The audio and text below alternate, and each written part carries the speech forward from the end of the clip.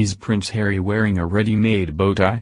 Etiquette expert slams the Duke of Sussex as he attends European premiere of The Lion King. An etiquette expert has slammed by Prince Harry after he suggested the royal was wearing a ready-made bow tie to attend The Lion King premiere.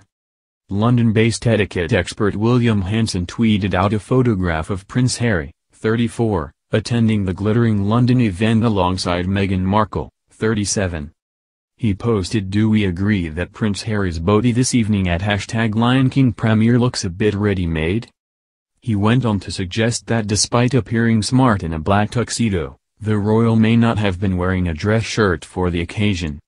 William shared a close-up of Prince Harry's tie, claiming it looked like a ready-made tie and criticizing the royal's lack of dress shirt at the occasion.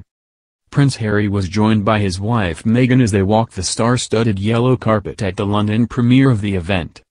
Harry and Meghan, who watched the live-action remake of the classic 1990s film this evening, later met the cast of the film. And while at Meghan's first film premiere as a royal, it appeared to be Prince Harry who had made the potential slip-up with his outfit. It appears to be Prince Harry's collar which could have given the game away. A dress shirt would more traditionally have a wingtip collar, and features pleats down the front. Prince Harry's shirt appeared to be more informal than that, with a simple classic collar and a button-down front. It's not the first time that the royal couple have faced drama in recent weeks after flouting dress codes. Prince Harry was criticized by some for his appearance in his son's official christening photographs where he donned a scruffy pair of shoes and a lengthy tie. Last week Meghan was swept up in controversy as she wore jeans in an exclusive members area while attending Wimbledon.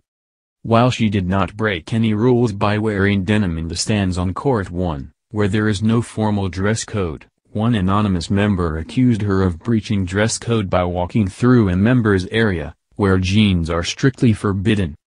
Wimbledon sets out a strict dress code for guests who enter the exclusive members area, which features a clubhouse and dining facilities as well as the Royal Box, which includes jacket and tie for men and no jeans. But the dress code for the best seats on Court 1, known as the debentures, is smart casual and there is no dress code for general spectator.